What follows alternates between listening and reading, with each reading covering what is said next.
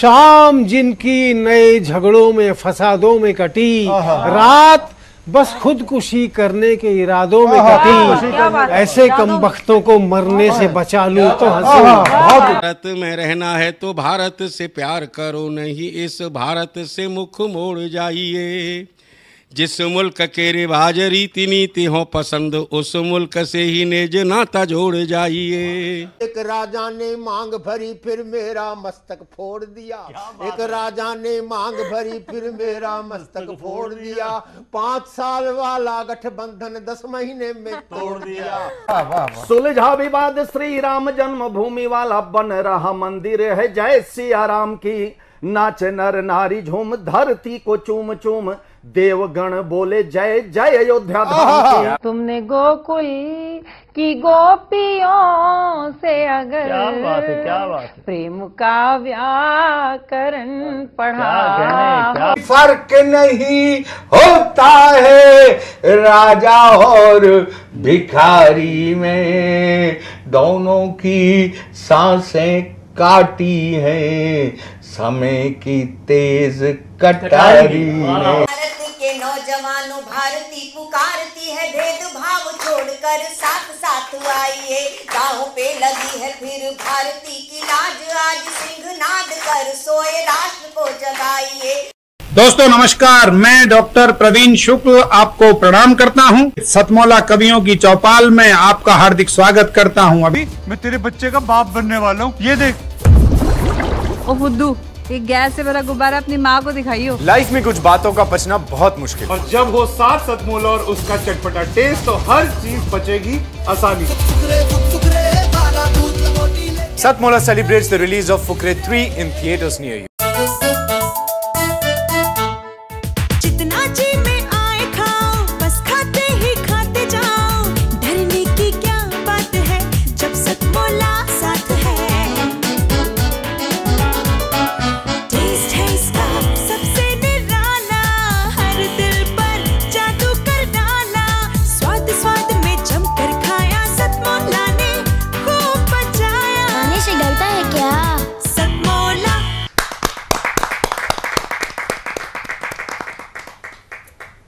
सतमोला कवियों की चौपाल में सभी दर्शकों का हार्दिक अभिनंदन है। सतमोला कवियों की चौपाल, आपकी अपनी चौपाल। सतमोला कवियों की चौपाल में आज हमारे साथ देश ही नहीं, बल्कि अंतर्राष्ट्रीय स्तर पर जिन्होंने हास्य को पहचान दी, और वो भी जिस प्रकार श्रद्धे दादा अल्लड़ बीकानेरी ने हास्य को गज़ल में पिरो करके प्रस्तुत करते थे।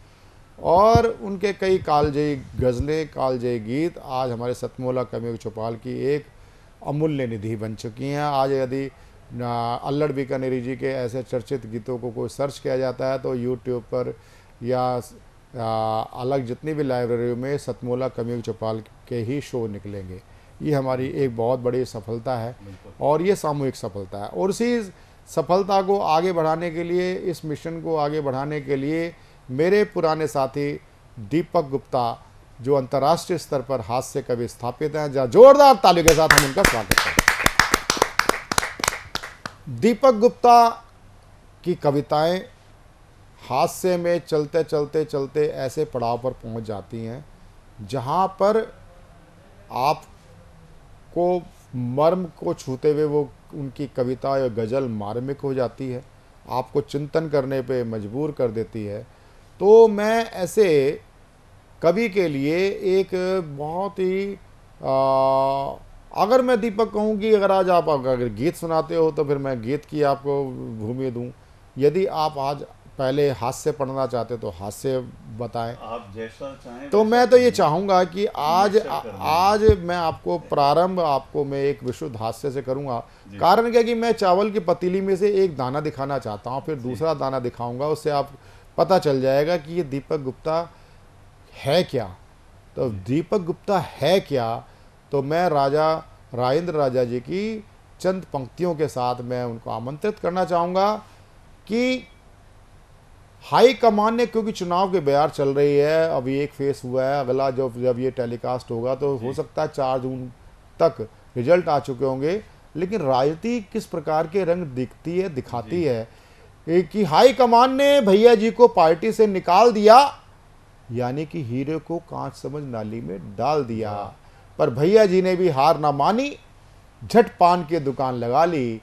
ये देख मेरी धर्म पत्नी बड़े दुखी स्वर में बोली, देखो जी, भैया जी, पहले अपनी सत्ता कोठी बंगला कार से चलाते थे और आज पान की दुकान चला रहे हैं। मैंने कहा रे बेवकूफ़ ये पहले भी चूना लगाते थे और आज भी चूना लगा रहे हैं। आइए चूना लगाइए दीपक गुप्ता जी। सबसे पहले तो सतमोला कवियों की चौपाल के सभी दर्शकों का और प्रिय श्रोताओं का बहुत बहुत धन्यवाद आभार। और जहाँ पर प्रवीण जी ने अ, मेरी भूमिका के लिए पंक्तियाँ पढ़ी हैं मैं वहीं से शुरू करता हूँ। राजनीति का ज़िक्र किया उन्होंने नेता का ज़िक्र किया। हाँ। तो चुनाव आने ही वाले हैं आप जानते हैं और मैंने कभी कहा था कि मदारी को जमूरे से शिकायत है। आहा मदारी को जमूरे से शिकायत है जमूरे को मदारी से शिकायत है सियासत ऐसा जंगल है जहाँ दीपक शिकारी को शिकारी से शिकायत है। शिकारी से और इसी कड़ी में कि हारा चुनाव जैसे ही वो दल बदल लिया। हारा चुनाव जैसे ही वो दल बदल लिया ये सोच करके उसने अपना कल बदल लिया। मैंने कहा उसे कि तू किरदार को बदल कपड़े बदल के कहने लगा चल बदल लिया। बदल कहने लगा चल बदल लिया। और मैं तो कई बार बारीक बात कहता हूँ अपने श्रोताओं का आईक्यू भी चेक करता रहता हूँ कि दोस्तों आदमी और नेता में एक बारीक अंतर होता है हम्म। और अंतर ये होता है कि आदमी तो कभी भी नेता बन सकता है। बाकी आप स्वयं अंदाज़ा लगाएँ कि मैं क्या कहना चाहता हूँ। लेकिन आइए राजनीति के संदर्भ में कई बार क्या है कि सत्ता आती है सत्ता जाती है। कभी भी घमंड नहीं करना चाहिए। मैंने कभी कहा था कि ये गलत फहमी है केवल आपकी। हम्म। वो आप नहीं जो आप समझ रहे हाँ, हो। हाँ। कि ये गलत फहमी है केवल आपकी। है हुकूमत आपके ही बाप की। और जूतियाँ गिनकर नहीं पड़ती मियाँ। अरे वाह। छांट लेना तुम भी अपने नाप तुम भी अपने नाप बहुत अच्छे बहुत अच्छे बहुत अच्छे बहुत अच्छे। और आइए चुनावों का सिलसिला और संदर्भ छिड़ा है तो मैं वहीं से कुछ पंक्तियाँ देना चाहता हूँ। देखिए कवि किसी पार्टी विशेष का नहीं होता कवि सत्य को उजागर करता है जैसा देखता है वैसा लिखता है। मैं ध्यान चाहूँगा मंच का भी। पल में रत्ती पल में तोला पल में है ये माशा। पल पल में ही बदल बदल दल करते 25 रोज। तमाशा। पीवे राजनीति की भंग करते संसद में गुड़दंग करने फिर जनता को तंग नेता आयो रे। हो नेता आयो रे इलेक्शन आयो रे। चार कार संग लिए काफिला गोरी उठाकर झंडे। चार कार संग लिए काफिला गोर उठाकर झंडे।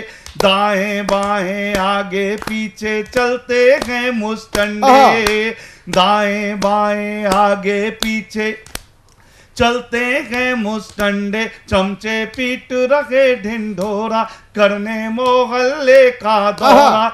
दोनों हाथों लिए कटोरा नेताया। रे इलेक्शन आयो रे। के राजनीति में भरे हुए हैं एक से एक मदारी। बारी बारी करना चाहे सब कुर्सी की सवारी।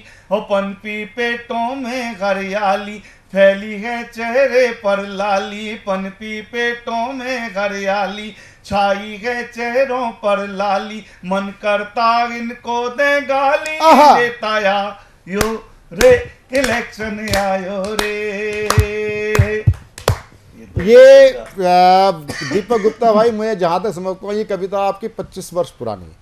और लेकिन जब भी हाँ, चुनाव आते लेकिन हैं तब लेकिन तक ये आ, नहीं हो जाती है। लेकिन सबसे बड़ी बात है कि आपकी इस कविता के अंदर जो ओम प्रकाश आदित्य जी की थी ना एक कुर्सी बिचारी। मैं किसको भरूं जो घनाक्षरी में पूरा था। उसकी झलक मिलती है। आपको इसके लिए हार्दिक साधुवाद और जोरदार। धन्यवाद आप सभी का।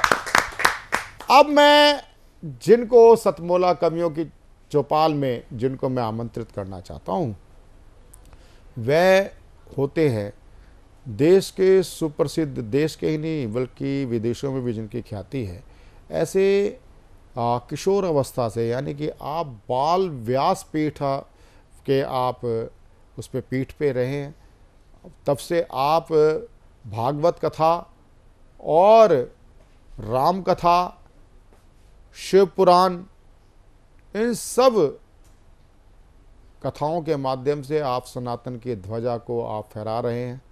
और आप अपनी कथाओं के माध्यम से अनेक सामाजिक संदेशों को भी आप रखते हैं।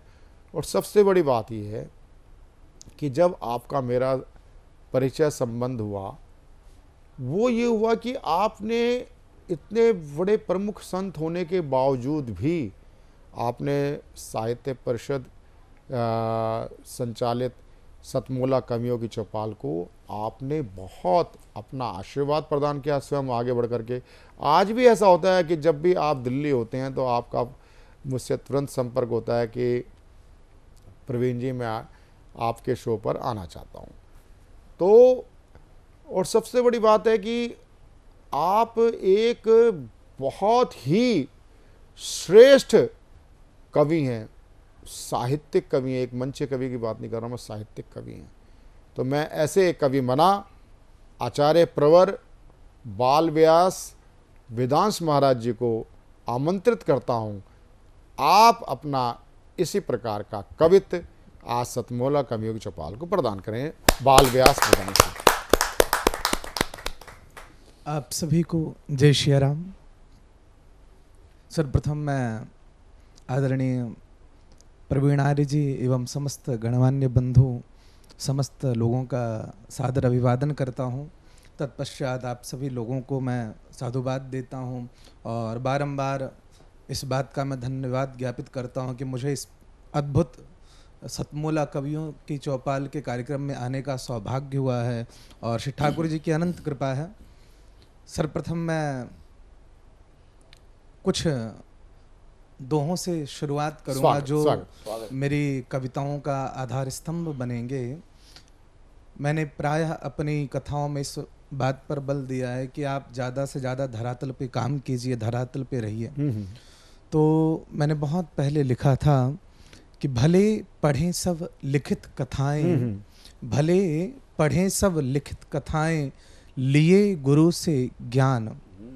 पर राम नाम बिनु बाबरे कबहु न भय कल्याण। राम नाम बिनु बाबरे कबहु न भय कल्याण। सदा ध्यान उसका धरो करे जो चिंता मुक्त। सदा ध्यान उसका धरो करे जो चिंता मुक्त तज माया माधव भजो यही निगमागम उक्त। तज माया माधव भजो यही निगमागम उक्त इसका कारण है क्योंकि शास्त्रों का आदेश है विष्णु और माया भगवती यया सम्मोहितम जगत। ये माया इतनी प्रबल है कि बड़े बड़े धुरंधर भी इसके सामने बंदर के समान नाचते हैं। तो मैंने इस विषय पर भी लिखने का प्रयत्न किया था कि विश्व मोहिनी शाम्भवी माया जिनका नाम। आहा। विश्व मोहिनी शाम्भवी माया जिनका नाम सकल जगत को मोहना नियत है जिनका काम। नियत है जिनका काम न बच पाए कभी हरिहर। नियत है जिनका काम न बच पाए कभी हरिहर। संभल संभल कर चलो बड़ी ही कठिन है डगर। कहत दास वेदांश मनुज जो बचना चाहे। कहत दास वेदांश मनुज जो बचना चाहे। दीन बंधु भगवान का भक्ति पथ अपनाए। दीन बंधु बहुत अच्छे बहुत अच्छे। बहुत अच्छे। और उसी भक्ति के मार्ग में मैं आप सभी को ले जाने का प्रयत्न करूँगा। क्योंकि ये ऐसा स्थान है जहाँ पर हास्य की भी सरिता बहती है जहाँ वीर रस का भी उद्गम होता है। तो ये दिव्य प्रांगण है पर भक्ति के बिना तो सब अपूर्ण है। तो मैं अपने उस रचना को सुनाने का प्रयत्न करूँगा जब मैंने सर्वप्रथम भागवत पढ़ा था और गुरुदेव ने जो श्लोक बताया था मैंने उसका अनुवाद किया था। स्वागत। सच्चिदानंद रूपाय विश्वोत्पत्त्यादि हेतवे तापत्रय विनाशाय श्री कृष्णाय वयम नमः। तो इसी का अनुवाद मैं आपको बताता हूँ और फिर ज्ञान की गंगा में गोता लगाएँगे। जगत करता जगत पालक वही संघार करते हैं। जगत करता जगत पालक वही संघार करते हैं। शरण में आए जो उनके त्रिविध तापों को हरते हैं, शरण में आए जो उनके त्रिविध तापों को हरते हैं। देव भाषा देव भाषा की परिभाषा, सच्चिदानंद कहे जिनको देव भाषा की परिभाषा सच्चिदानंद कहे जिनको उन्हीं नंदलाल गोपाला का हम सब ध्यान करते हैं। उन्हीं नंदलाल गोपाला का हम सब ध्यान करते हैं इसके आगे की कड़ी मैं सुनाऊँगा कि मेरा ये भगवान से लगन लगाने का उद्देश्य क्या है बनू मुरली, मनोहर श्याम के अधरों पे सज जाऊँ। बनू मुरली, मनोहर श्याम के अधरों पे सज जाऊँ। अहो सौभाग्य सांवरिया, के संग संग गीत मैं गाऊं। अहो सौभाग्य सांवरिया के संग संग गीत मैं गाऊं जो इतनी श्रेष्ठता न दास में तो प्रार्थना प्रीतम। जो इतनी श्रेष्ठता न दास में तो प्रार्थना प्रीतम बनाना पैर की जूती बनाना पैर की जूती चरण रज रोज मैं बहुत अच्छे, बहुत- बहुत- बहुत- बहुत- बहुत- बहुत- बहुत पैर की जूती चरण रज रोज मैं। पाऊँ। बहुत अच्छे बहुत अच्छे बहुत अच्छे बहुत अच्छे बहुत अच्छे। मैं आचार्य प्रवर जी का हार्दिक अभिनंदन करता हूँ। आज आप हमारे शो पे आज हमारे पधारे हैं। और आप जहाँ अपनी कथाओं के माध्यम से आप भक्ति का रस प्रवाहित करते हैं भक्तों को उनकी भक्ति के नदिया में डुबकी लगाते हैं। और आइए चलते हैं ऐसी ही एक अ, हमारे बीच में कवित्री हैं जो लखनऊ से चल करके आई हुई हैं। उनका नाम होता है अनीता अरोड़ा। आइए जोरदार तालियों से उनका स्वागत करते हैं मेरा सभी को नमस्कार। और साधना टीवी चैनल का खा, खास विशेष रूप से मैं हार्दिक आभार व्यक्त करना चाहूँगी। जी। और प्रभु श्री राम के चरणों में मैं चार पंक्तियाँ सबसे पहले निवेदित करना चाहूँगी। जी स्वागत है। श्री राम रहते हैं जिसके दिल में। श्री राम रहते हैं जिसके दिल में। उसे तो कोई गम ही नहीं है। श्री राम रहते हैं जिसके दिल में। उसे तो कोई गम ही नहीं है। रहता है साया सर पे हर दम। रहता है साया सर पे हर दम। कल के कोई फिकर नहीं है। श्री राम रहते हैं जिसके दिल में उसे तो कोई गम ही नहीं है। मैं एक गीत गुनगुना के सुनाना चाहूँगी। जी। रिश्तों पे आधारित है। तो सुनिएगा निवेदित करना चाहूँगी। मतलब की दुनिया मतलब हैं लोग हम्म, हम्म। निभाते नहीं हैं जताते बहुत हैं हम्म। मतलब की दुनिया मतलब की है लोग निभाते नहीं जताते बहुत हैं। अरे दुनिया वालों संभल के रहना। बातों में मीठी हम्म, बहुत सुंदर। के नाना हम्म, अरे दुनिया वालों संभल के रहना। बातों में मीठी।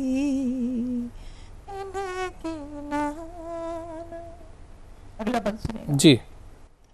मोहब्बत करोगे जितना भी ज़्यादा रुलाएँगे तुमको उससे भी ज़्यादा।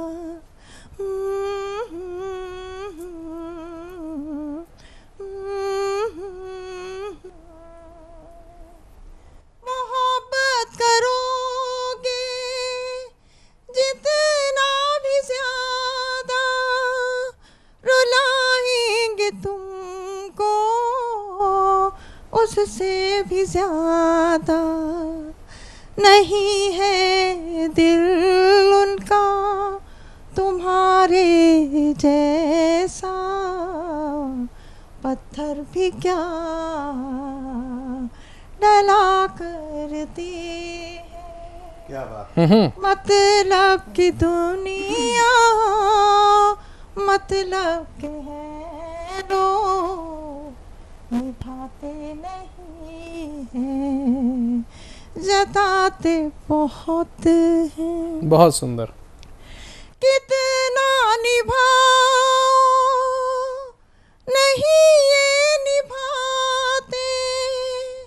चलते हैं दिल को अपने ही बोलों से। बहुत जख्म देते हैं।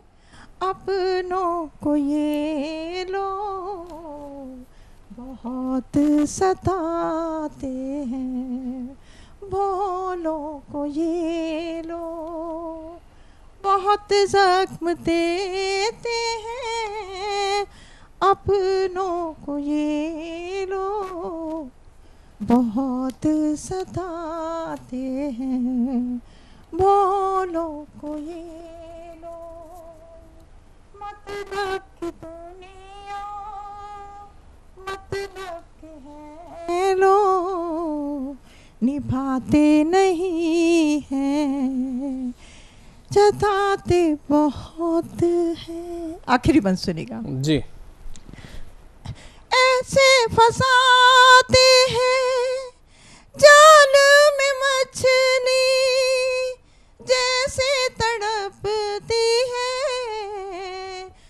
बिन जल मछली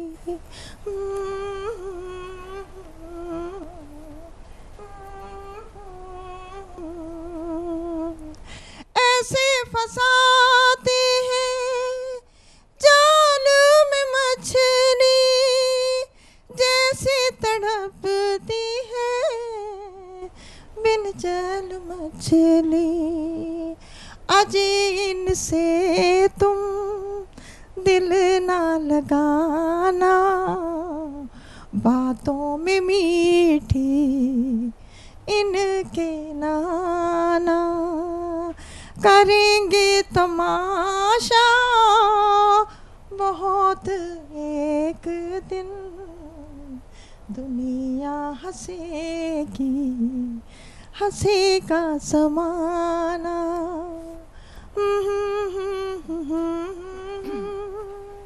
la la la la la la.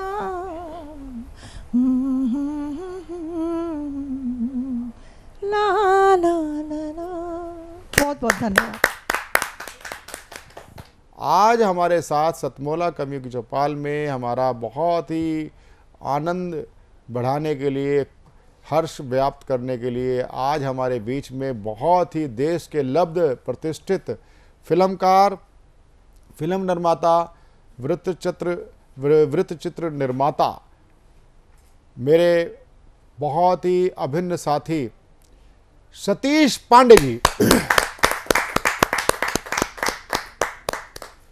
Satish Pandey ji बहुत ही एक श्रेष्ठ फिल्मकार हैं।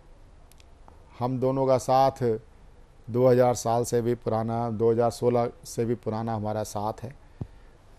एक सतीश जी की सबसे बड़ी उपलब्धि जो मेट्रो के जनजीवन पर आपने बनाई है, कई डॉक्यूमेंट्रीज और कई, एक सबसे बड़ी बात है कि अभी अभी हाल में ही पिछले जो नेशनल अवार्ड्स हुए हैं, उसमें सतीश पांडे जी की दिल्ली मेट्रो पे बनाई गई डॉक्यूमेंट्री को सर्वश्रेष्ठ डॉक्यूमेंट्री का अवार्ड मिलाया जा जोरदार तालों के साथ हम उनका अभिनंदन करते हैं।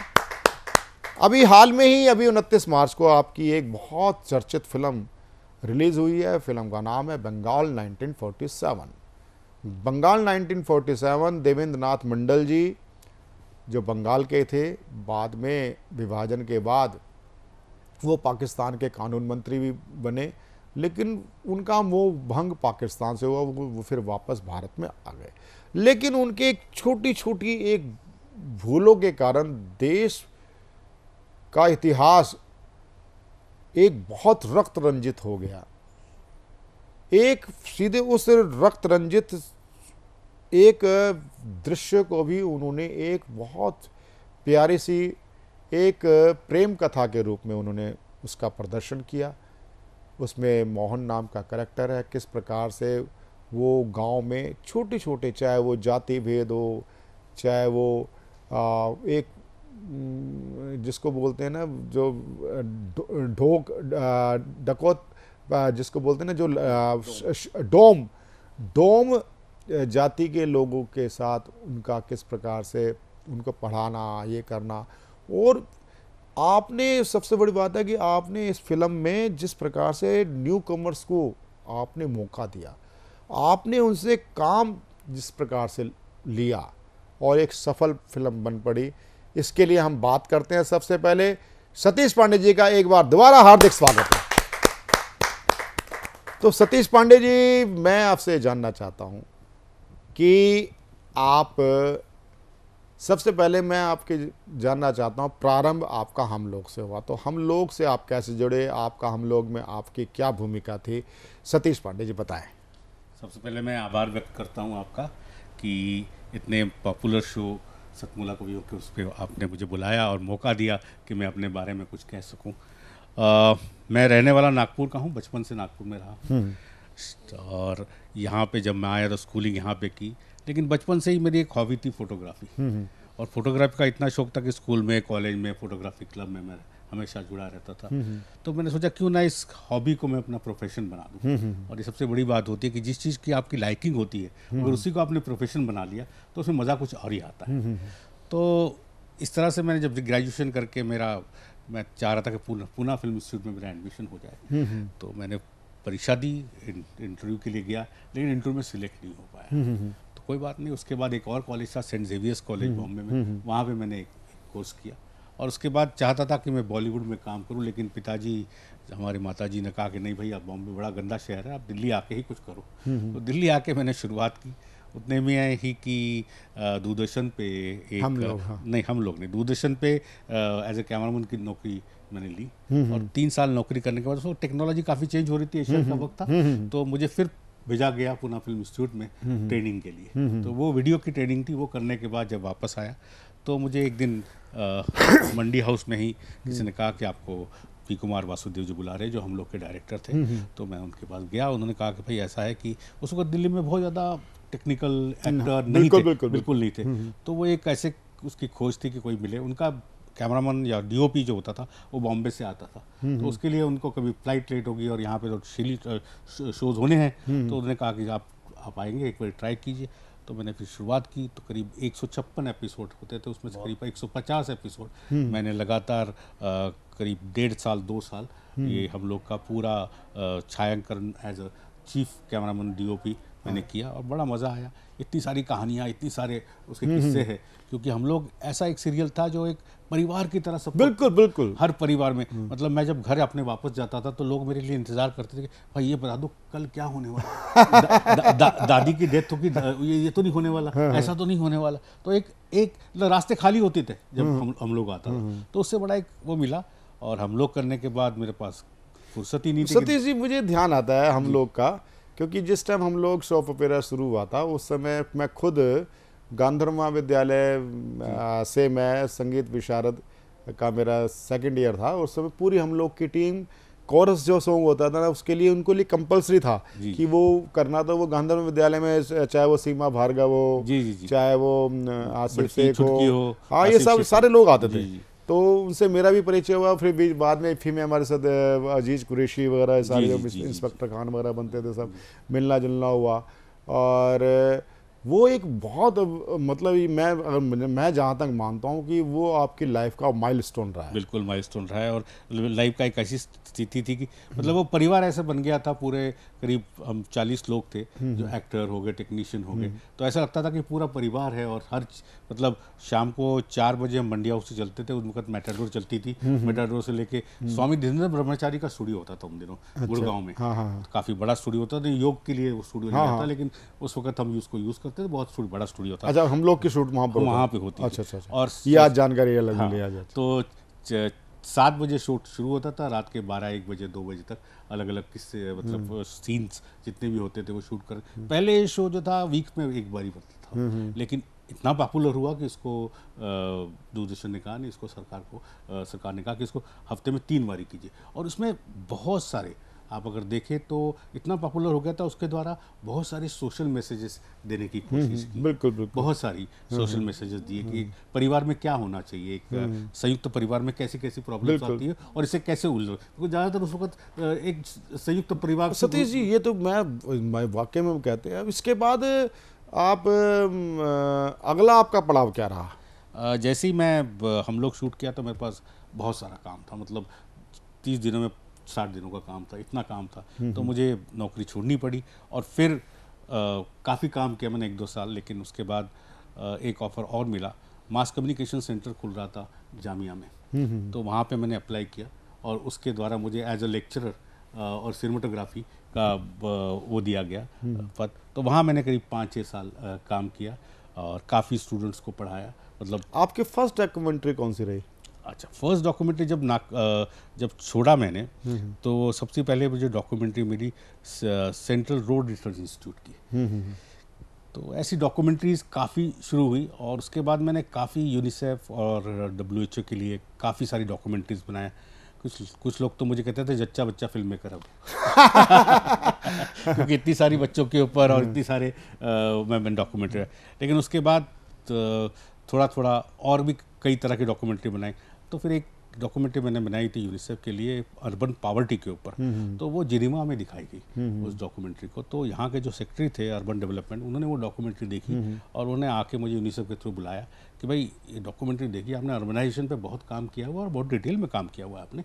तो क्यों ना एक आपको मैं एक मौका देता हूँ कि हमारी दिल्ली को एक मेट्रो की ज़रूरत है। तो आप एक ऐसी फ़िल्म बनाइए जिससे पता चले कि दिल्ली को मेट्रो की ज़रूरत क्यों है और उसका क्या लाभ होंगे। और इससे हम फंड रेजिंग भी कर पाएँगे क्योंकि इतनी सारी पैसे कहाँ से आए बिल्कुल। तो वर्ल्ड बैंक से या किसी और जायका से हम पैसा लेना इसका मतलब ये कि जो मोदी जी का जो एक एक तरह से स्टार्टअप है ना हाँ। वो आपसे शुरुआत है मान जी, माना जा सकता है क्योंकि आज आ, मेट्रो एक दिल्ली की नहीं पूरा इंडिया की लाइफ लाइन बन चुकी है जी जी तो उसके बाद जब फ़िल्म बनाई तो काफ़ी एक साल लग गया फ़िल्म बनाने के बाद तो जब ये फ़िल्म को दिखाया गया सब काफ़ी लोगों ने सराहा इसको। तो एक दिन जब फ़िल्म खत्म होने के बाद सेक्रेटरी थे वो उन्होंने मुझे बुलाया कि सर आए आप मुझे मैंने कहा सर डॉक्यूमेंट्री ख़त्म हो गई अब क्या करा? आप आइए तो सही। तो फिर मुझे बुलाया गया तो मुझे उन्होंने मेट्रो मैन श्रीधरन से मुलाकात करवाई। हम्म, हम्म। उन्होंने कहा कि उन्होंने सिर्फ़ इतना ही अंग्रेज़ी में कहा उस वक्त कि this boy has work very hard please. Take care of him तो उसके बाद श्रीधरन साहब के साथ कम से कम मैंने पंद्रह या बीस साल जब तक वो रहे और अब भी मेट्रो का काफ़ी काम करता हूँ। हम्म। तो अब मैं मैं मेट्रो मैन फ़िल्म मेकर हो गया हूँ। और मुझे इसके लिए मतलब दो नेशनल अवार्ड मिल चुके हैं 2011 में मुझे एक फ़ेज़ वन का नेशनल अवार्ड था हम्म। उसको मिला। और बहुत अभी और अभी हाल ही में फ़ेज़ थ्री के ऊपर प्रेसिडेंट का नेशनल अवार्ड मिला। और मैं बड़ा खुश हूँ और बड़ा अच्छा लगता है। मैं सिर्फ़ नाम बोल ली दिल्ली मेट्रो बल्कि लखनऊ मुंबई पुणे नागपुर सब जगह के मेट्रो के लिए फ़िल्में बनाता हूँ।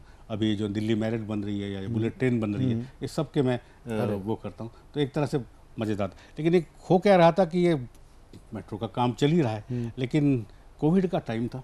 हम्म। तो कोविड टाइम में हम खाली थे काफ़ी खाली थे तो मेरे बेटा जो था वो हम लोगों का ऑफ़िस बॉम्बे में वो संभालता था वो भी यहाँ आया हुआ था। तो उनके दोस्त थे एक आकाश आदित्य लामा। तो उनका कोई प्ले एडिट करना था तब खाली बैठे हमने कहा चलो आकाश जी आप आ जाइए हम प्ले एडिट करते कुछ तो टाइम पास हो ना। तो वो प्ले देखा तो मेरे बेटे ने कहा कि पापा इसके ऊपर फीचर फ़िल्म बनाते हैं। तो हमने हम तीनों की तिगड़ी बनी। और हमने कहा नहीं भाई बंगाल 1947 तो बंगाल 1947 की शुरुआत हुई। तो ये इसका पहला टाइटल ये प्ले था जिसका नाम था शबरी का मोहन तो ये कहानी ऐसी इस एक कहानी ऐसी है एक्चुअली इस, इसका जो एक तरह से जो थिएट्रिकल जो नाम था वो सबरी का मोहन। शबरी का मोहन। Okay okay. उसको हमने चेंज किया क्योंकि फ़िल्म के लिए कुछ और भी चीज़ें चाहिए होती हाँ, तो ज़रूरत होती है। एक, ए, एक ये प्रेम कथा तो है लेकिन साथ साथ साथ राष्ट्रभक्ति की भी एक भावना इसमें है। प्रेम कथा है और राष्ट्रभक्ति भी है इसके अंदर। तो ये 1947 की कहानी है जिसमें कि एक विलेज जो ना उसको पता नहीं था कि वो हिंदुस्तान में रहेगा या पाकिस्तान में रहेगा। तो वहाँ पे एक लव स्टोरी थी और एक ऊँची जात वाले लड़के और मोहन और एक नीची डोम की बेटी शबरी उसकी कहानी थी। तो इसके द्वारा हमने काफ़ी सोशल मैसेजेस डालने की कोशिश की। है ये सिर्फ़ एक आम फ़िल्म नहीं है जो आपको कमर्शियल फ़िल्म है जो पैसे बिल्कुल, बिल्कुल, पैसे बिल्कुल। कमाने के लिए हमने बनाई है। पर इसको हमने बनाया काफ़ी सोशल बड़ा हाईली रिस्क लिया आपने। हाँ, मैं हाँ, पूरी फ़िल्म आपने स्पेशल कुछ हटके कुछ कुछ हटके कर ज़िंदगी में कुछ हटके करने की हमेशा आदत रही है मुझे। तो हो सकता है मैं सफल हूँ या ना हूँ लेकिन मैं हटके कुछ काम नहीं नहीं सफल तो कह रहा है। सतीश जी तो आपकी वो फ़िल्म बहुत कुछ कहती है। जी तो उसमें हमने दिखाया है कि लड़कियों को पढ़ाना चाहिए। च- च- छोटी जाति बड़ी जाति नहीं होती। और और भी कई पॉलिटिकल वो थी जो हमको हमको लगा कि उस वक्त उसमें दो सुंदर गाने अभिषेक ने पूरा जो जो है अभिषेक रे जिन्होंने गुलजार की एल्बम बनाई बहुत शानदार, बहुत शानदार, बहुत उन्होंने- शानदार, उन्होंने- बड़ा कर्णप्रिय- मैं मैं उनको मैं उनको करीब 25 साल से जानता हूँ और बड़े बड़े फ़िल्मों की करती है। मैंने कहा मेरे पास पैसा नहीं है भाई तो ये करना है। उन्होंने कहा मैं सतीश जी आपके लिए करता हूँ। तो उन्होंने पूरा म्यूज़िक दिया और बहुत अच्छी फ़िल्म निकल के आई है।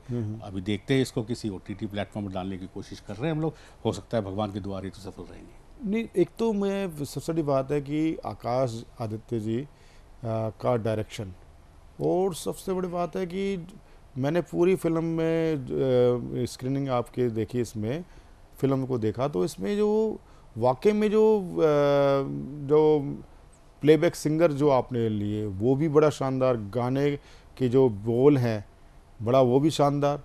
और सबसे बड़ी बात है कि जो आपका जो फ़िल्म का नायक है ना आ, मोहन वो जिस ढंग से बिक तो वो भी बच्चा बिल्कुल नया लिया आपने अंकुर अरमाम को। और और बच्चों से तो मैं नहीं मिला अंकुर से मैं खुद मिला। ये आपने इन बच्चों को कैसे चयन कैसे करा? सबसे पहले मैं तारीफ़ करना चाहता हूँ आकाश जी की रिसर्च। क्योंकि इतनी बड़ी फ़िल्म बनाने के लिए आपको रिसर्च चाहिए और वो भी ऑथेंटिक चाहिए। उन्होंने कई डॉक्टर अंबेडकर की किताबें पढ़ी कई सारी किताबें पढ़ी उसके बाद इसको स्क्रिप्ट में डाला गया। जहाँ तक ये था कि अब हम दूसरी प्रॉब्लम ये आ रही थी कि भाई 1947 एक पीरियड फ़िल्म है। अब इस पीरियड को 1947 को कैसे दिखाया जाए? हम बंगाल गए हम काफ़ी जगह गए तो हमें छत्तीसगढ़ में कवर्धा के पास ऐसी एक जगह मिली क्योंकि क्या हुआ कि जब पार्टीशन बांग्लादेश का पार्टीशन हुआ तो काफ़ी बंगाली लोग वहाँ से छोड़ के छत्तीसगढ़ में आ गए थे। तो वो अभी तक उनके पुराने घर हैं अभी तक वहीं रहते तो हमने उसी लोकेशन को चूज़ किया। अब जहाँ तक कास्टिंग की बात है हमने मोहन जो इसका कैरेक्टर लिया है अंकुर। वो फ़िल्म इंस्टीट्यूट से पास आउट है। तो उस टेस्ट लिया तो बहुत अच्छा लगा। फिर हमने एक हीरोइन को भी मतलब नायिका के लिए रोल के लिए किया था। लेकिन समहाउ वो एक दो दिन शूटिंग करने के बाद उसका वो फिट नहीं लगी। तो एक लोकल बंदी वहाँ से राजनांदगांव से थी। बहुत अच्छी सुरभि करके एक बच्ची थी। तो वो बिल्कुल कैरेक्टर में हमने लिए।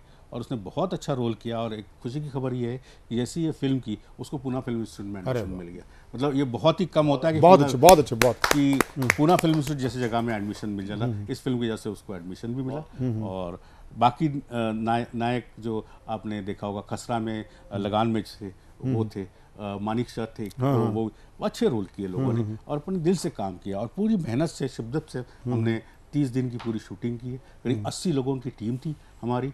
तो सबका आना जाना खाना पीना रहना। नहीं वो मैं जो है। आपने आपने कुछ जगह स्पेशल स्क्रीनिंग की। मुझे इस फ़िल्म की जो सबसे बड़ी उपलब्धि है कि आज ये तो मानते हैं कि ट्रेंड बन गया। ट्रेंड इसलिए बना है कि सरकार की ऐसी फ़िल्मों के प्रति सकारात्मक दृष्टि। पहले क्या होता था सरकारी पक्ष ऐसी फ़िल्मों को बैन करने के लिए ज़्यादा करता था। और ये आज हमारे लिए बड़ा ही बहुत अच्छा एक आ, उर्वरा ज़मीन बन चुकी जिसको बोलते हैं ना बिल्कुल कि अब ऐसी फ़िल्मों की डिमांड भी बढ़ी है लोग देखना भी चाहते हैं ऐसी फ़िल्मों जी मैं आपको आ, क्योंकि मैं और प्रवीण जी करीब ऑलमोस्ट 2016 के बाद मैं 2014 से हूँ। हम्म, हमारा फ़िल्म फेस्टिवल होता है गोवा में सबसे इंटरनेशनल फ़िल्म हम्म, फेस्टिवल हम्म। तो मैं कई उनकी समितियों में जूरी में रह चुका हूँ। तो हमें कई फ़िल्में देखने का मौका मिलता है हम्म। जैसे प्रवीण ने कहा कि भाई दिन में चार चार पाँच पाँच फ़िल्में देखने पड़ते हम्म। हैं किसी भी कंट्री की में भाषा भी समझ में नहीं आए फिर भी सब। सब टाइटल से और वो फ़िल्में देख के काफ़ी आपको एक तरह से एनर्जी आ जाती है हम्म, हम्म, हम्म। तो ये एक दिल में तहाई की फ़िल्म बनानी चाहिए हम्म, हम्म। चाहे कैसी भी हो तो बस उसी की एक उत्पत्ति थी और हुआ और आप हमारे शो पे आए सतीश जी आपको कैसा लगा ये नए बच्चों को आपने सम्मानित किया कोई पूरे भारत से देश भर से लोग आते हैं। और इस टीवी शो का जो एक पैटर्न ये है कि हमने उस जैसे आपकी यात्रा है वही यात्रा लगभग उस जैसी अपनी है कि जब हमारे पास इतने संसाधन भी नहीं थे तो हमने इसको शो को शुरू किया और उस समय मोबाइल युग नहीं था। ना फेसबुक था ना व्हाट्सअप था और केवल एक सिंपल एक कॉल हुआ करती थी। कॉल भी मेरे ख्याल से बत्तीस रुपये आउट गोइंग और सोलह रुपये इनकमिंग होती। थी। उस युग में हमने ये शो शुरू किया था और आज हमारा पंद्रह हज़ार से ये बहुत ये बहुत बड़ी उपलब्धि है प्रवीण जी की ये जो अपना सतमोला कवियों का सम्मेलन है। ये आज दो दशक से ज़्यादा चल रहा है। नॉर्मली हर सीरियल या हर कोई धारावाहिक जो है एक एक आध साल के ऊपर नहीं जाता लेकिन आपकी हिम्मत है जो आपने कंटिन्यू किया ये बी- बी- बीस बीस साल से टीम की पूरे टीम की देखो कोई भी काम टीम के बगैर नहीं होता। हम्म। एक अकेला आदमी कुछ नहीं एकला चलो नहीं चलता यहाँ हम्म। पे फ़िल्म मेकिंग में या पूरे टेलीविज़न इंडस्ट्री में आपको एक टीम को साथ लेके चलना पड़ता है। और आपने ये बहुत अच्छा किया कि करीब 20 सालों से और 15 हज़ार कवि आपके साथ जुड़े हुए हैं। और आप यंग लोगों को वो चीज़ें सुनाते हो दिखाते हो जिन जो खुद उनकी कलम चलती है और लिखना शुरू करती है। मैं आपको दोबारा बता रहा हूँ कि आपको आपको बहुत बहुत बधाई बधाई और इस काम को जारी रखिए। आप में वो शक्ति है आपके आप में वो लगन है जो आप ये कर सकते हैं। हार्दिक हार्दिक हार्दिक आभार। एक्चुअली क्या है सतीश भाई कि ये एक बहुत बड़ी बात है कि आपकी भी विनम्रता है कि आप एक इतने छोटे से शो पर हमारे बच्चों को उत्साह बढ़ाने के लिए इंक्रीज करने के लिए आप हमारे बीच में आए। आपका हार्दिक आभार। धन्यवाद।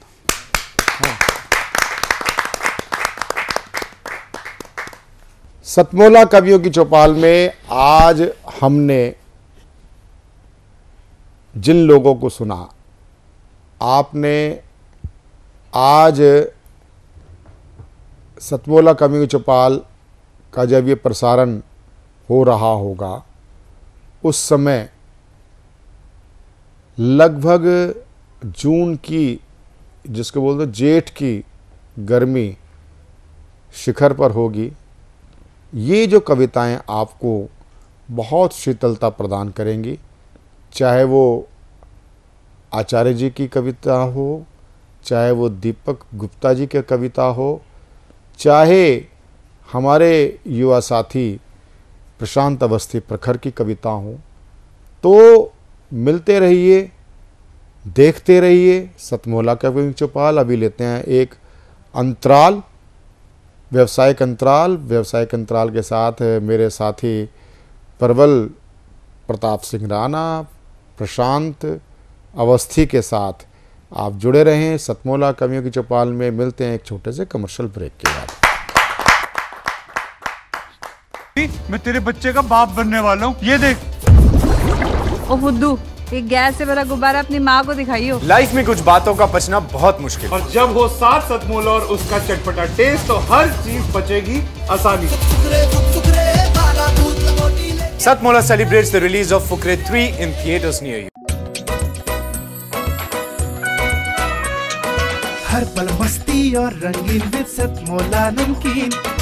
इससे बेटर है नथिंग सतमोला नमकीन। टेस्ट है बेमिसाल पनीर भुजिया भी कमाल। इसके टेस्ट के सब शौकीन हाँ सतमोला नमकीन। सतमोला स्वीट्स एंड नमकीन इससे बेटर है नथिंग हाँ सतमोला नमकीन।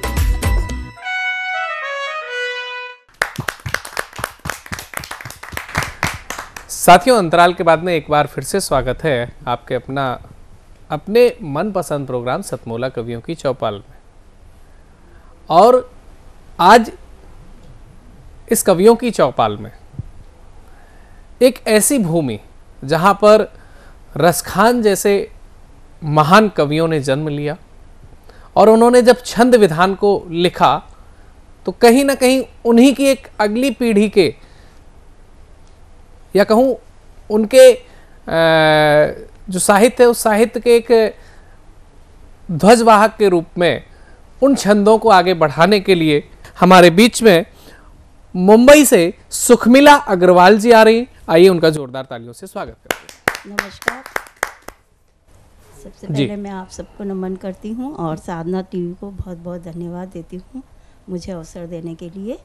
मैं रामचंद्र जी पे अपने कुछ उद्गार पेश कर रही हूँ। हम्म, सुनिएगा। स्वागत है। बड़े दिन बाद ये अद्भुत हमें पैगाम आया है। बड़े दिन बाद ये अद्भुत हमें पैगाम आया है।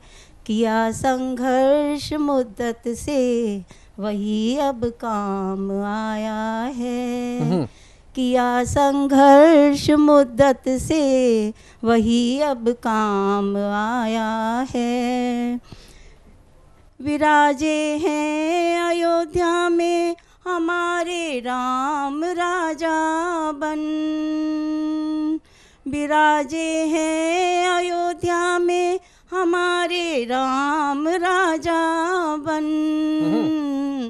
मिला सौभाग्य जीवन को दरस अविराम पाए हैं। मिला सौभाग्य जीवन को दरस अविराम पाया है। बहाते थे नयन व्याकुल विरह की पीर बरसों से। बहाते थे नयन व्याकुल विरह की पीर बरसों से। कृपा से आज अब इनको जरा विश्राम आया है। कृपा से आज अब इनको जरा विश्राम आया है।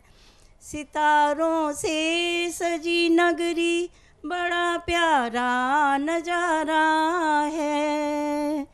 सितारों से सजी नगरी बड़ा प्यारा नज़ारा है।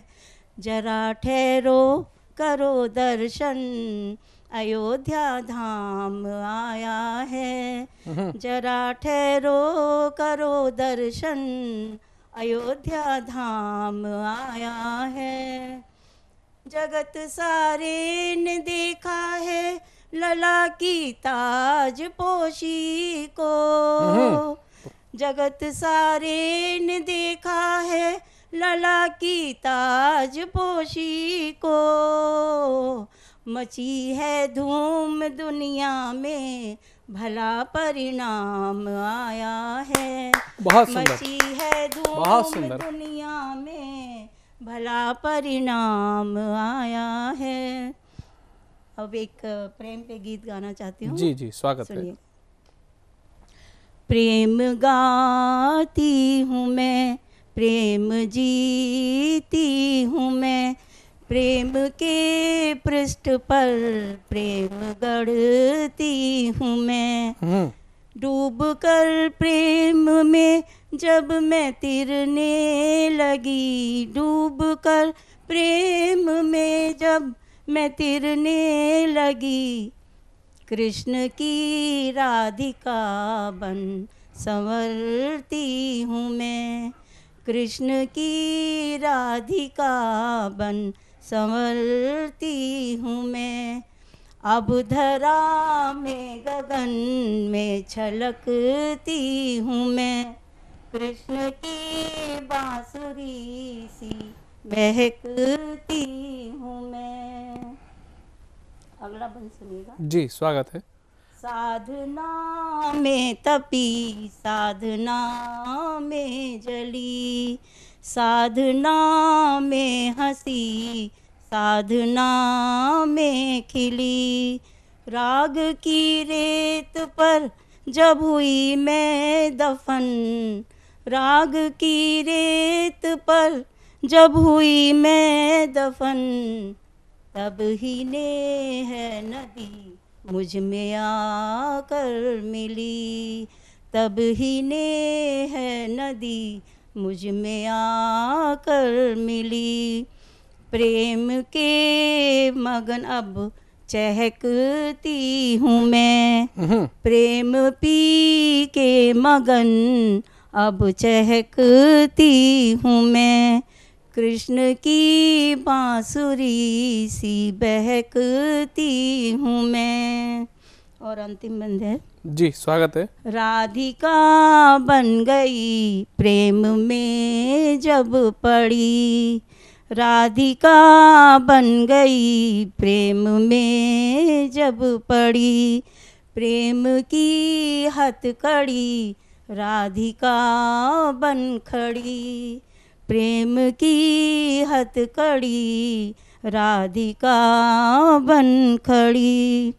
अब न कोई खता, अब न कोई सजा, अब न कोई खता, अब न कोई सजा। पाँव की बेड़ियाँ खुद ब खुद खुल पड़ी। पाँव की बेड़ियाँ खुद ब खुद खुल पड़ी। अब सदा हर घड़ी कुछ निखरती हूँ मैं।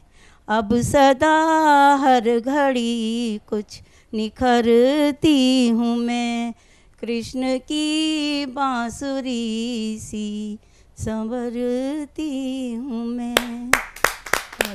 बहुत ही शानदार आपने रामलला के आगमन पर खुशियों भरा संदेश दिया तो वहीं कृष्ण को प्रेम का और मैं समझता हूँ कि प्रेम का इससे बेहतर कोई उदाहरण नहीं हो सकता है।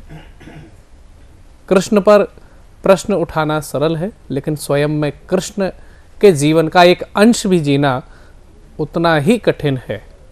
बेटियाँ और भारतीय बेटियाँ, शौर्यता में, वीरता में कभी भी पीछे नहीं हटती हैं। वो अपनी स्वयं की रक्षा करने के लिए, अपने देश की रक्षा करने के लिए, अपने स्वयं के प्राणों को न्यौछावर करने में भी कभी पीछे नहीं रहती हैं। मैं इस भारत की उन नारियों को, उन शक्ति स्वरूपा नारियों को नमन करता हूँ और इसी साधना को आगे बढ़ाने के लिए हमारे बीच में शाहजहांपुर से सुमन पाठक जी आ रही हैं। आइए आमंत्रित करते हैं उनको, आप सबकी जोरदार तालियों से। प्रणाम करती हूँ आप सभी को और साधना चैनल का बहुत बहुत आभार कि इस काव्य यज्ञशाला में मुझे भी एक आहुति डालने का अवसर मिला। जी। और चूँकि मैं एक गृहिणी हूँ तो बात गृहणियों से ही शुरू करती हूँ। गृहणियों की मना स्थिति तक जहाँ तक पहुँच पाई हूँ हम्म। अगर आपको लगे कि मैं पहुँच पाई हूँ कहीं हद तक तो आशीर्वाद दीजिएगा जी। कि पूरे घर का ध्यान है। और दिखे बस काम। हम्म। गृहिणी बनकर रह गई नहीं किया कुछ नाम। हम्म। नहीं किया कुछ नाम रही परिवार संभाले और साल बीतते गए झाड़ते घर के जाले। हम्म किंतु कभी इस ओर न हमने ध्यान लगाया। हम में भी कुछ खास इसे फिर क्यों बिसराया सभी गृहिणियों गृहिणियों को कुछ संदेश देना चाहती हूँ। सभी गृहिणियों आज से।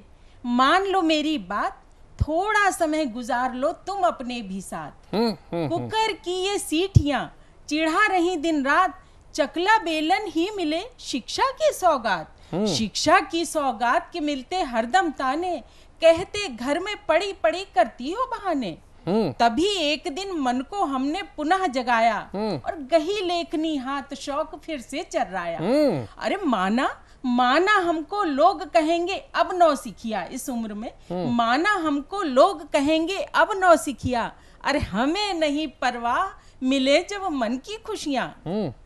और चूँकि अच्छा। चुनाव का मौसम चल रहा है जी जी। तो कुछ चुनाव पर क्यों ना हो जाए? जी स्वागत है आपका। मैं चाहती हूँ सभी लोग मतदान करें। हम्म। बहुत अ, हमारा अधिकार ये मिला है लोकतंत्र में तो उसका निर्वाह करें।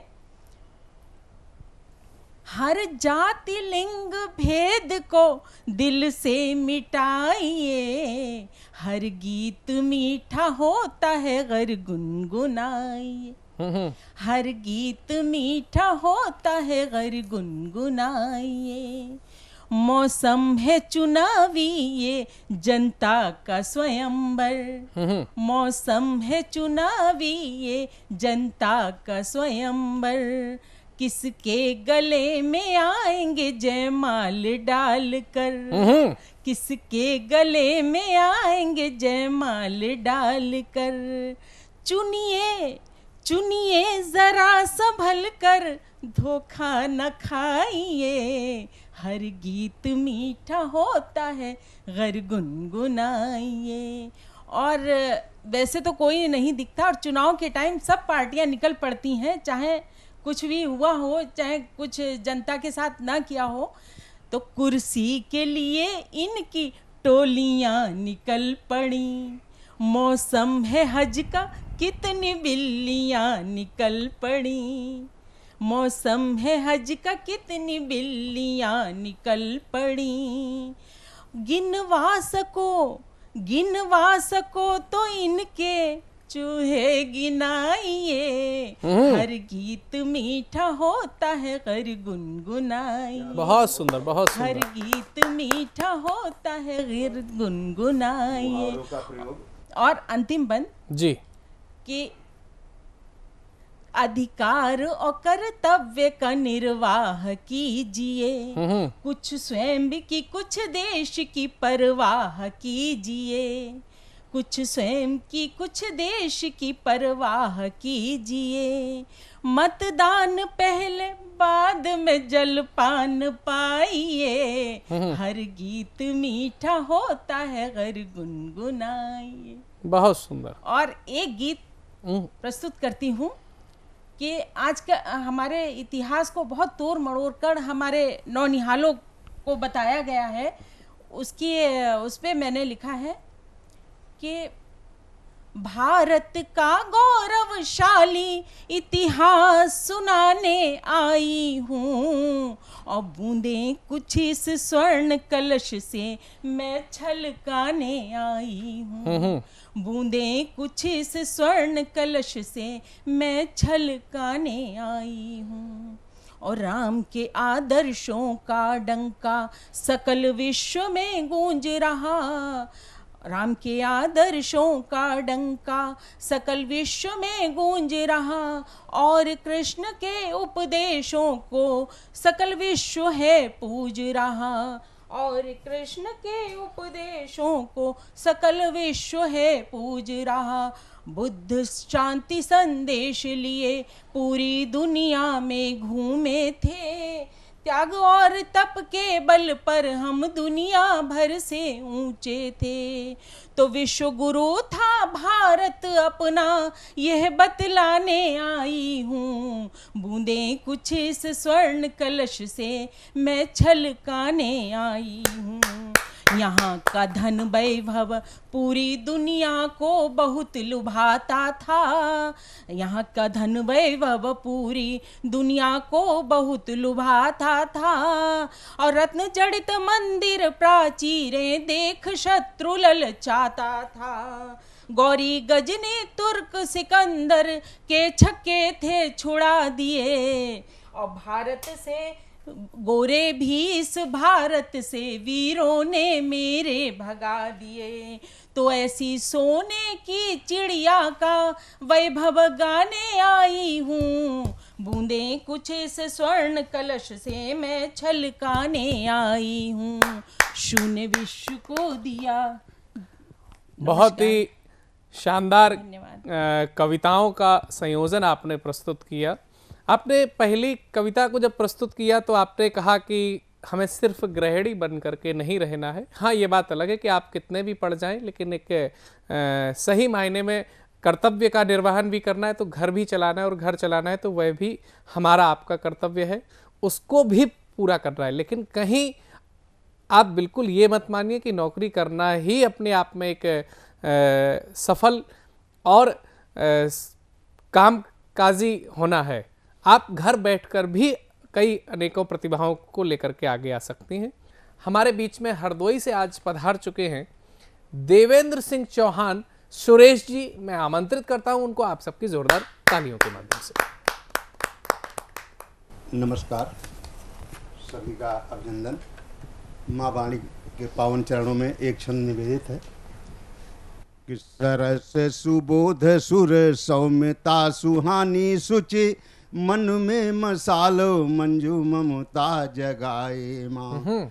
कमल निकुंज कल कविता कलित काव्य। मधुप मधुर मनु महिमा सुहाए माँ। मेरे मनु मंदिर में ममता मई है माँ तो कर उजियार निस मोह की मिटाए बहुत सुंदर, बहुत सुंदर। ज्योत्सना जगाए विधु फूले फले प्रेम जग। कविता में कंचन की चमक दिखाए माँ हम्म। कविता में कंचन की चमक दिखाए माँ एक इतिहास से लेते हैं जी पंडित राम प्रसाद बिस्मिल पंडित राम प्रसाद बिस्मिल और अशफाक उल्ला खां दो जी। चरित्र हम्म। एक छंद के माध्यम से आप देखें आप सब प्रबुद्ध वर्ग बैठा हुआ है कि बार बार रोक टोक करिए न सुफाको तेरे मेरे रास्ते अलग देख लीजिए। जूझना फिरंगियों से शिशुओं का खेल नहीं और धार तलवार की सलाह नेक लीजिए। और बाँध कर शीश पर निकला कफन यह चीर कर आत्मा में देश देख लीजिए। बहुत सुंदर। कि भावुक हो असुफाक कहा सुन मेरी बात। राष्ट्र यज्ञ हेतु लिख शीश एक लीजिए। राष्ट्र यज्ञ हेतु लिख शीश एक लीजिए। एक छंद चूँकि मेवाड़ प्रताप पुस्तक हमारी प्रकाशित हो चुकी है उसका एक छंद निवेदित करते हैं। जब बेटी चंपा वहाँ जंगल में है और बाल चपल स्वभाव से राणा प्रताप से पूछती है कि आप कैसे राजा हैं? जी। तुतली भाषा में प्रयोग है हाँ हाँ। कि तुम कैसे लाजा बापू भागे बन घाती फिलो? हम्म। तुम कैसे लाजा बापू भागे बन घाती फिलो?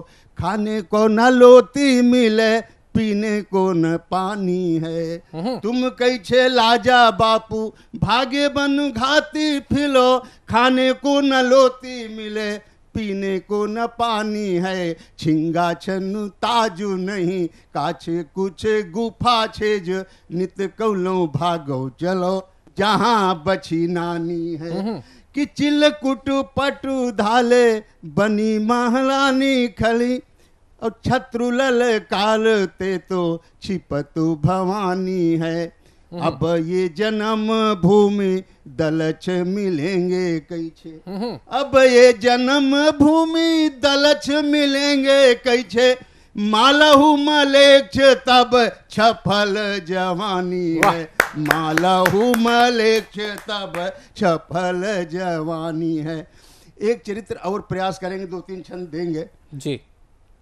एक रूपवती कन्या है विक्रम सिंह सोलंकी की जो गुजरात में एक कोई राज्य हुआ करता था और उससे औरंगज़ेब का चित्र टूट गया था उस पर उसने शिकायत की बिसातिन ने।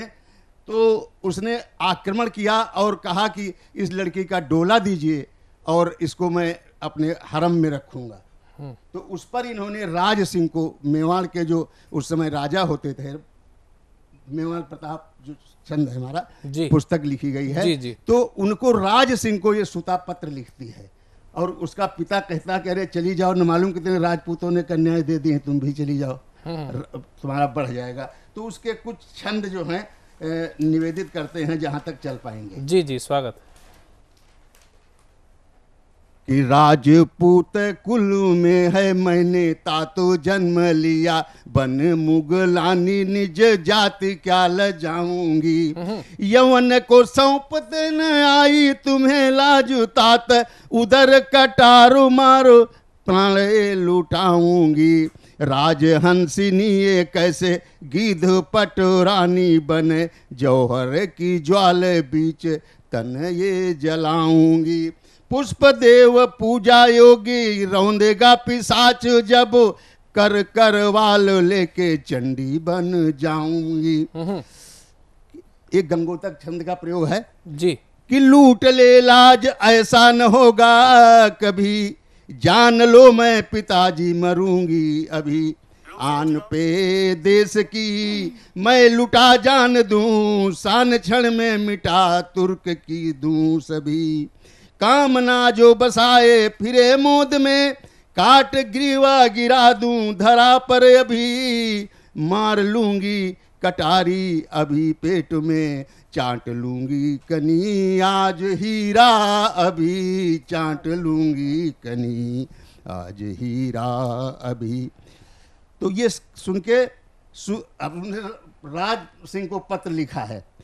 कि सुता ने विचार पत्र लिखा, राज सिंह को यूँ जिसे निज दूत से मेवाड़ को पठाया है, कि आपका महान बंसु रावल का रक्त भरा बनू मुगलानी साह फरमान आया है। असहाय अबला की आप ही बचाएँ लाज, सांगा बलिदान ना प्रताप को भुलाया है। और पालकी पे बैठे वीर जा रही हूँ दिल्ली और प्यारे मनु मंदिरों में तेरा यश छाया है। प्यारे मनु मंदिर में तेरा यश छाया है। वीर तुम यदि मद वीर तुम मेरी यदि मदद करोगे नहीं करूँ विष्णु पान रवि ज्योति में समाऊँगी। कुंठा भरे मन से मैं चली जाऊँ स्वर्ग भले निज मातु कोख को न कभी भी ल जाऊँगी। काली बन काटूँगी मैं रण में पिसाच मुंड शत्रु बोटी काट काट गिद्धों को खिलाऊँगी। और ममता मनोहर ले मन में तुम्हारा प्रेम। और करके सुरेश तेरी याद मर जाऊँगी। करके सुरेश तेरी याद मर जाऊँगी। बहुत ही शानदार आपने छंद और कविता जो कविता के विषय आपने लिए वो अपने आप में वह विषय रहे जिन विषयों को उठाना आज के समय में बहुत ज़रूरी है।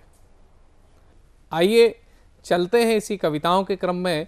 मैं बुलाना चाहता हूँ। शिमला से पधारे हुए पवन शर्मा जी को आप सबकी जोरदार तालियों से। सर्वप्रथम माँ शारदे को प्रणाम और मंच पर विराजे सभी कविगण को मेरा सादर नमन।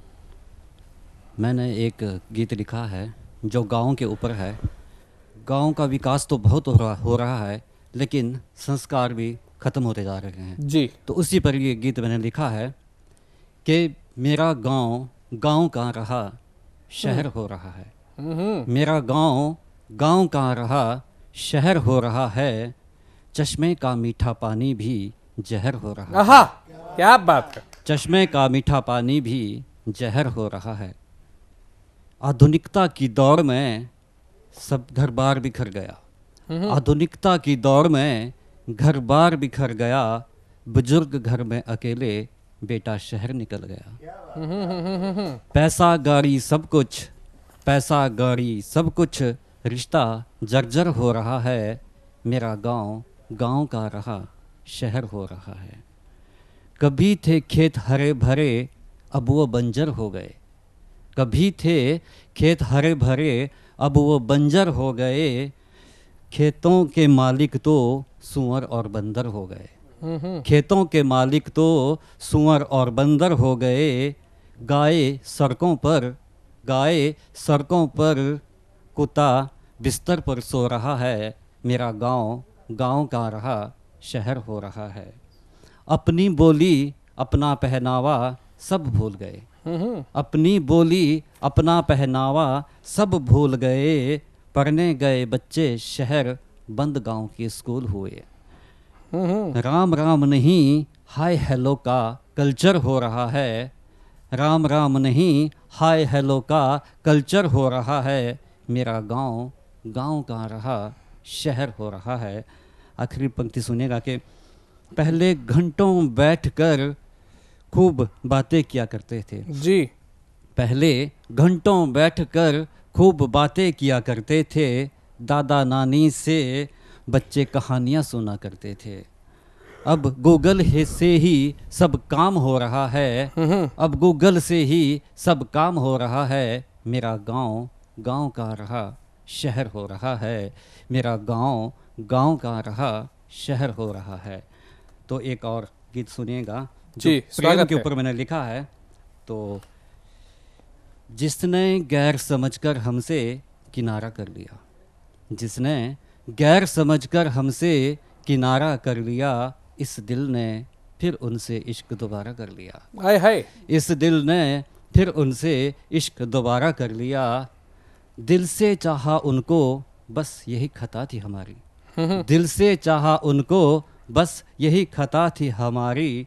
आँख बंद करके हमने एतवार तुम्हारा कर लिया। आँख बंद कर हमने एतवार तुम्हारा कर लिया। हम तो मरते रहे उन पर कभी कहा नहीं मगर। हम तो मरते रहे उन पर कभी कहा नहीं मगर। दूर से ही देख कर हमने तो गुजारा कर लिया। दूर से ही देख कर हमने तो गुजारा कर लिया। अगली पंक्ति सुनिएगा कि कभी तो समझोगे यही सोच कर चुप हूँ कब से? कभी तो समझोगे यही सोच कर चुप हूँ कब से? दिल ही दिल में तुमसे इश्क ढेर सारा कर लिया। दिल ही दिल में तुमसे इश्क ढेर सारा कर लिया। आखिर पंक्ति सुनिएगा कि लोग पूछते हैं मुझसे क्यों पीते हो तुम इतनी? लोग पूछते हैं मुझसे क्यों पीते हो तुम इतनी? बात निकली तो हमने ज़िक्र तुम्हारा कर लिया। बात निकली तो हमने ज़िक्र तुम्हारा कर लिया। धन्यवाद। बहुत सुंदर। पवन शर्मा जी, आपने जो प्रेम पर और गाँव, ये दो विषय चुने। ये बड़े अच्छे विषय हैं। आपने बहुत अच्छी बात कही। मैं इस जो आपने नेताओं को सोच समझ के तो उसको मैंने, राजनीति को जो मैंने लिखा हुआ है, वो कुछ इस तरह से कि राजनीति की नीति गजब है। और नेताओं की प्रीत गजब है। राजनीति की नीत गजब है, नेताओं की प्रीत गजब है। और पंथ जात की बात करें क्या? रोज बदलते ये मज़हब हैं, रोज बदलते ये मज़हब हैं। तो आइए मैं बुलाना चाहता हूँ, सुल्तानपुर से पधारे हुए अपने बीच में निखिल श्रीवास्तव जी को कि वो आए और कविताओं के साथ में इस क्रम को आगे की ओर ले जाए। सभी को धन्यवाद कहूँगा और जी सबसे पहले कि साधना टीवी को धन्यवाद दूँगा और पटल पटल पे मौजूद सभी आदरणीय को मैं नमन करता हूँ हम्म। और अभी कुछ साल पहले हम जो है कोरोना से बीते हैं और इन तीन सालों में हमने सब वो सब कुछ देखा जो नहीं हम्म। देखना चाहिए था जी। और जो जा चुके हैं उन्हीं की याद में जो मैंने लिखा है कविता हम्म। उसी को पेश करूँगा और जहाँ में त्रुटि होगी माफ़ करिएगा हमें स्वागत है स्वागत है शीर्षक कैसे है? उस कविता का लो लिपटा हुआ हूँ। सामने कैमरे। लो लिपटा हुआ हूँ। लो लिपटा हुआ हूँ अब सफ़ेद कपड़े में। लो लिपटा हुआ हूँ अब सफ़ेद कपड़े में। लो सिमटा हुआ हूँ अब घर के आँगन की हवाओं में। जी। लो लिपटा हुआ हूँ अब सफ़ेद कपड़े में। लो सिमटा हुआ हूँ अब घर की आँगन की हवाओं में। मेरे अपने मेरे अपने चीख चीख कर मेरे ना होने का मुझे एहसास दिला रहे हैं। हम्म। मेरे अपने चीख चीख कर मेरे ना होने का मुझे एहसास दिला रहे हैं और मुझे मेरे ही खोए हुए अपनों से मिला रहे हैं। हम्म। मेरे अपने चीख चीख कर मेरे ना होने का मुझे एहसास दिला रहे हैं और मुझे मेरे ही खोए हुए अपनों से मिला रहे हैं। आगे देखिएगा। जी। देखो ज़रा इन रीति रिवाजों की विडम्बना जी। देखो ज़रा इन रीति रिवाजों की विडम्बना अपने अब मुझे नाम से नहीं बुला रहे हैं। देखो ज़रा इन रीति रिवाजों की विडम्बना मेरे अपने अब मुझे नाम से नहीं बुला रहे हैं। लो लिपटा हुआ हूँ सफ़ेद कपड़े में लो सिमटा हूँ घर की आँगन की हवाओं में। जी। आगे देखिएगा। बड़ी अजीब सी व्याकुलता है। हम्म। बड़ी अजीब सी व्याकुलता है। बड़ी अजीब सी व्याकुलता है अपनों की चीख जो सुनाई देती है मुझे कानों में। हम्म। बड़ी अजीब सी व्याकुलता है अपनों की चीख जो सुनाई देती है मुझे कानों में। मेरी अपनी ही चीख खो सी गई है मेरे आँगन की हवाओं में। हम्म। जब मृत्यु सैया में से लेटा लेटा रहता है व्यक्ति जो मर जाता है तो वो चीख कर भी नहीं बता पता पता है कि हम आपको देख रहे हैं। उसी पे लिखा है कि बड़ी अजीब सी व्याकुलता है अपनों की चीख जो सुनाई देती है मुझे कानों में मेरी अपनी ही चीख अब खो सी गई है मेरे ही आँगन की हवाओं में। रो रही है हर वो आँखें अब। रो रही है हर वो आँखें अब जिन्होंने हमें कभी सराहाया नहीं। हम्म वो व्यक्ति जो ज़िंदगी में सराहता नहीं है आपको रो रही है हर वो आँखें अब जिन्होंने हमें कभी सराहाया नहीं देखो ज़रा देखो ज़रा कितनी ही व्याकुलता पूर्वक अब ढूंढ रही हैं वो आँखें जिन्होंने हमें कहीं भुलाया नहीं। रो रही है हर वो आँखें अब जिन्होंने हमें कभी सहराया नहीं। देखो ज़रा देखो ज़रा कितनी ही व्याकुलता पूर्वक कितनी ही व्याकुलता पूर्वक अब ढूंढ रही हैं वो आँखें जिन्होंने हमें कभी भुलाया नहीं। लो लिपटा हूँ सफ़ेद कपड़े में लो सिमटा हूँ घर की आँगन की हवाओं में। आगे देखिएगा। लेटा हुआ हूँ अब मैं। लेटा हुआ हूँ, अब मैं अपने ही आँगन में। लेटा हुआ हूँ, अब मैं अपने ही आँगन में। रो रो के भीगी हुई है हर आँखें। रो रो के भीगी हुई हैं हर आँखें, और उनके ही हाथ लगे हैं मुझे नहलाने में। रो रो के भीगी हुई हैं हर आँखें, और उनके ही हाथ लगे हैं मुझे नहलाने में। बड़े ही प्यार से, बड़े ही प्यार से सब लगे हैं मुझे सजाने में। बड़े ही प्यार से सब लगे हैं मुझे सजाने में। सब परेशान थे, हैरान थे, मुझे लेटा देख। सब परेशान थे, हैरान थे, मुझे लिटा देख और लगे थे मुझे सजाने में। रो रो के अब बुरा हाल है अब विदा करने में। रो रो के अब बुरा हाल है अब विदा करने में। मेरे अपने ही अब कह रहे हैं, मेरे अपने ही अब कह रहे हैं, क्यों देर कर रहे हैं उसे ले जाने में? मेरे अपने ही कह रहे हैं, क्यों देर कर रहे हैं उसे ले जाने में? लो लिपटा हूँ सफ़ेद कपड़े में, लो सिमटा हूँ घर की आँगन की हवाओं में। आगे अंतिम लाइनें हैं। अब उठे हैं कई हाथ। हम्म। अब उठे हैं कई हाथ मुझे अपने कंधों में टिकाने में। हम्म। अब उठे हैं कई हाथ मुझे अपने कंधों में टिकाने में। बड़ी तेज़ी से बड़ी तेज़ी से अपनों ने पग को बढ़ाया है। बड़ी तेज़ी से अपनों ने पग को बढ़ाया है और बड़ी मेरी अंतिम यात्रा ले जाने में। बड़ी तेज़ी से अपनों ने पग को बढ़ाया है। मेरी अंतिम यात्रा ले जाने में बड़े ही व्याकुलता पूर्वक बड़े ही व्याकुलता पूर्वक मेरे अपने ही लगे हैं मुझे जलाने में। बड़े ही व्याकुलता पूर्वक मेरे ही अपने लगे हैं मुझे जलाने में। लो लिपटा हूँ सफ़ेद कपड़े में लो सिमटा हूँ घर की आँगन की हवाओं में घर की आँगन की हवाओं में। अंतिम कुछ लाइनें और प्रस्तुत करूँगा कि माता पिता को हम पूछते रहते हैं। पिता का भी अपना एक सम्मान है, माँ का अपना सम्मान है। पिता, माता जो है बच्चे को नौ महीना पेट रखती है और पिता तो जब से पैदा होता है तब से उसको लेकर चलता है। तो ससुर सम्मान पिता के नाम पे लिखा था मैंने कि, पापा, सब नज़र आते हैं, पापा, बस आप नहीं। सब नज़र आते हैं, पापा, बस आप नहीं। आज भी लगता है कि आप आओगे। आज भी लगता है कि आप आओगे और पूछोगे, सब ठीक है ना बेटा? और आज भी लगता है आप आओगे और पूछोगे, सब ठीक है ना बेटा? पर ये शब्द कानों में अब आते ही नहीं। पर ये शब्द अब कानों में आते ही नहीं, सब नज़र आते हैं पापा, बस आप नहीं। सब नज़र आते हैं पापा, बस आप नहीं। कोई नहीं है अब, कोई नहीं है अब जो आकर बोले, बेटा घबराना नहीं, मैं हूँ ना। कोई नहीं है अब जो आके बोले, बेटा घबराना नहीं, मैं हूँ ना। मन करता है कि पहले के जैसे आपसे जब लम्हों, मन करता है कि पहले के जैसे आपसे घंटों बैठ कर बातें करूँ। मन करता है कि पहले के जैसे आपसे घंटों बैठ के बातें करूँ पर अब मेरी ये किस्मत में है ही नहीं। पर अब ये मेरी किस्मत में है ही नहीं सब नज़र आते हैं पापा बस आप नहीं। हम्म।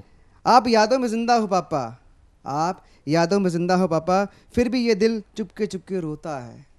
आप यादों में ज़िंदा हो पापा फिर भी ये दिल चुपके चुपके रोता है कोई नहीं है कोई नहीं है आँख कोई नहीं है अब पोछ आँसू पोछने वाला, कोई नहीं है आँसू पोछने वाला, खुद ही चुप होना पड़ता है। कोई नहीं है आँसू पोछने वाला, खुद ही चुप होना पड़ता है। आज भी हर वो पल याद आता है। आज भी हर वो पल याद आता है, जब हंसना, रोना दिल से निकलता था। आज भी हर वो पल याद आता है, जब हंसना, रोना दिल से निकलता था। और आज वो सब लफ्ज़ों में सिमट गया है। जी। और आज वो सब लफ्ज़ों में सिमट गया है। आप बहुत याद आते हो पापा। आप बहुत याद आते हो पापा। सब नज़र आते हैं पापा बस आप नहीं बस आप नहीं। धन्यवाद। बहुत ही शानदार विषय को आपने छुआ और ये विषय अपने आप में अ, मैं कह सकता हूँ कि एक ऐसा विषय रहा कि जिसमें आपने कहा कि पिता वह छत होती है जिसके रहते हुए हमें तमाम बारिश, धूल, धूप, धुआँ, इन सब का एहसास नहीं होता है। और शायद जब वह कभी डांट लगाते हैं तो वह उस छत के समान हो जाते हैं, जो शायद एक टीन की छत होती है जो काफ़ी मजबूती से रहती है और अपने ऊपर पड़ने वाली तमाम समस्याओं को वो सिर्फ़ आवाज़ के माध्यम से आप तक पहुंचाते हैं। शायद है कि वो समस्याएँ जब सीधे आप तक पहुँचने लगती हैं, तब आपके पास में कोई उत्तर नहीं रहता है, कोई प्रश्न नहीं रहता है। आज वीडियो सेगमेंट के क्रम में आज हमारे साथ जुड़ रही हैं देश की लब्ध प्रतिष्ठित कवित्री शालिनी मुंजाल, जो कि सुप्रसिद्ध एस्ट्रोलॉजर भी हैं, मोहाली से आज हमारे साथ जुड़ रही हैं जो जोरदार ताले के साथ हम उनका स्वागत करें। बड़ी अजीब रिवायतें हैं इस इश्क की। बड़ी अजीब रिवायतें हैं इस इश्क की।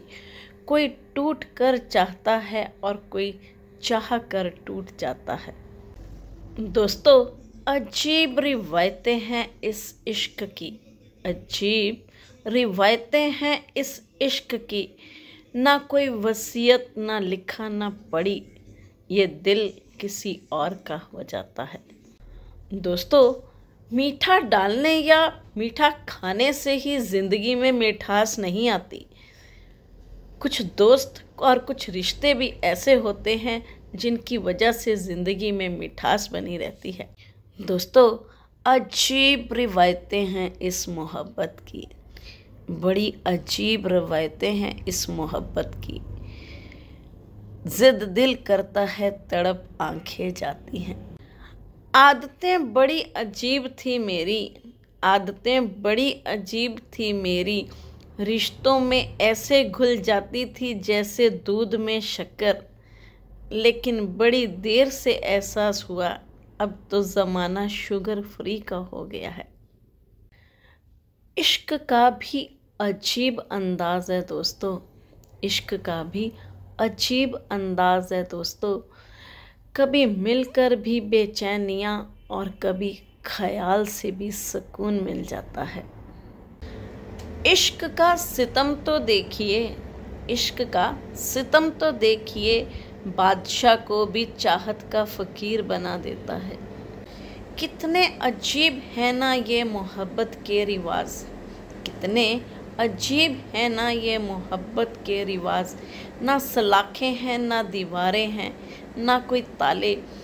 फिर भी इंसान कैद रहता है उसकी मोहब्बत में, जिसके साथ रहना चाहता है।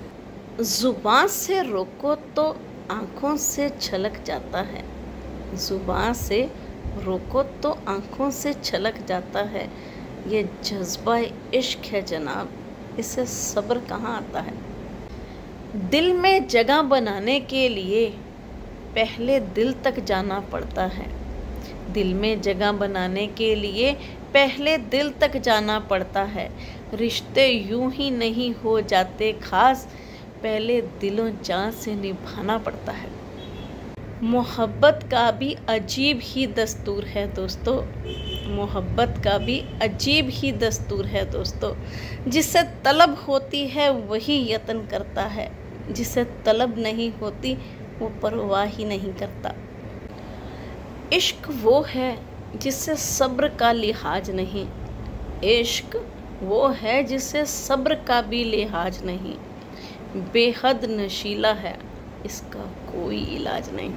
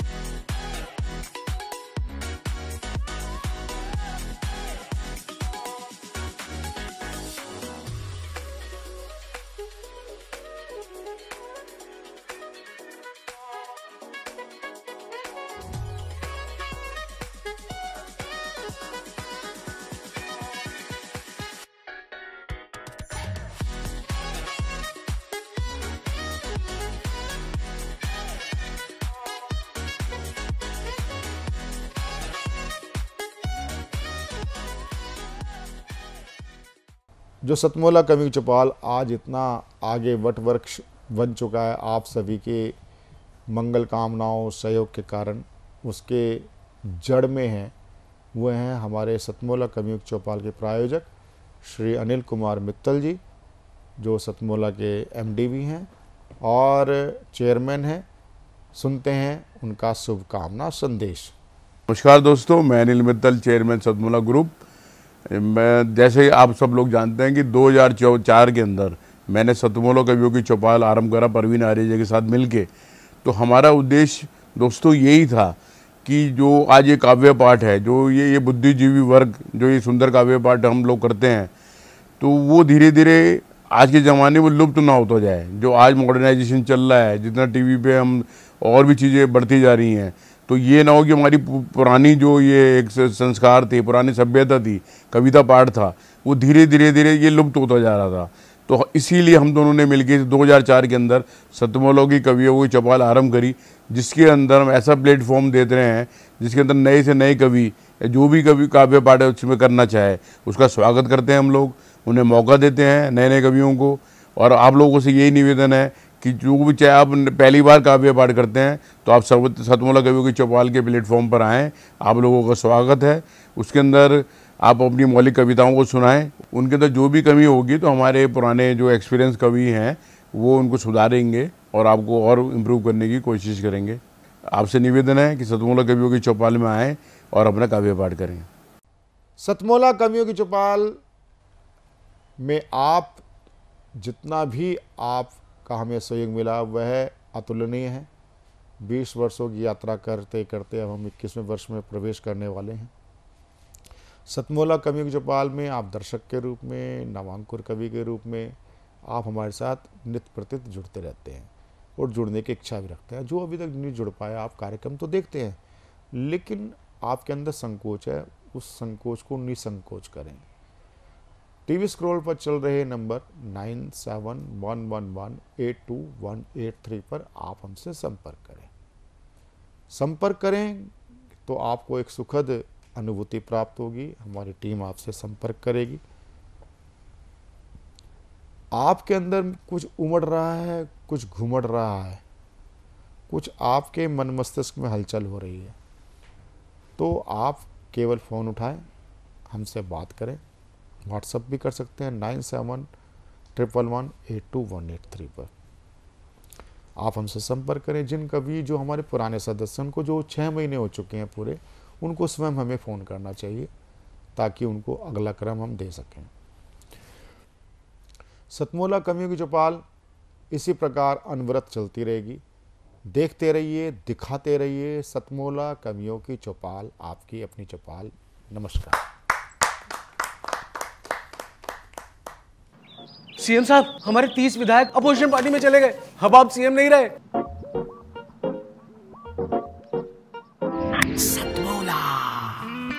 तो अब नया सीएम कौन बन रहा है? चल सतमोला खाओ कुछ भी पचाओ